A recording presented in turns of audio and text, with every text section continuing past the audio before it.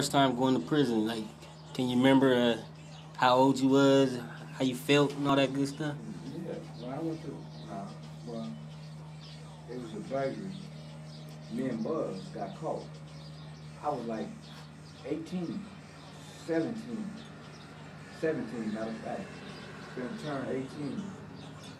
But I went, I, they, they, they sent me to YA. Sent me to YA. And then all the old niggas in jail was telling me, don't go to YA, man. Don't go to YA.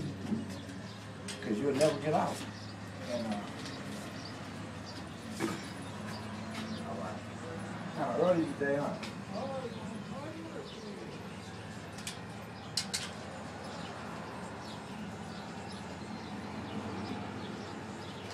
So- don't go to YA. So you didn't go? You decided. No, I told the judge after he sent me, I told him, Judge, I I don't, I don't want to go to YA. No, I was in the tank getting ready to go get sentenced.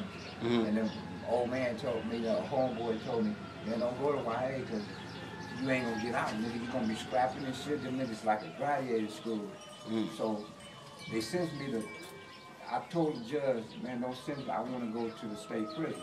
He said, well, I can't. The probation report shows that you fit for YA, so I'm sending you to four years in YA. So, so I left. He said, good luck, and I left. And about two weeks later, uh, I thought I was catching a chain. Gave away all my shit, my food, all my zoom zooms and wham and shit that I had in the county jail, thinking I was gonna catch a chain to Chino. But they took me to court, back to court.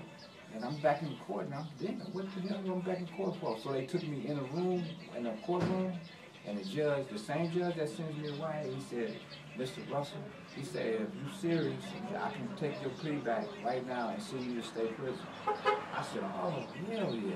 You know, that's good. He said, instead of the four years, I'm, I'm gonna give you 16 months in prison. And so on 16 months, I, I took the 16 months, I gave up my life. And out of the 16 months, I only did 10 months, and got out. Damn.